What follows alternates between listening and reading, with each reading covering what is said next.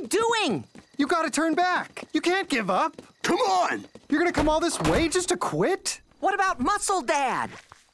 Look, bros, my old man was a screw up, and let's face it, so am I. I'm overweight, I work in a lame park, and you two and fives are my only friends.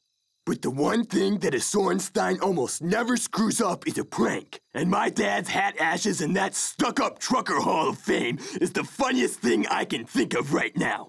Now are you ladies in or aren't you?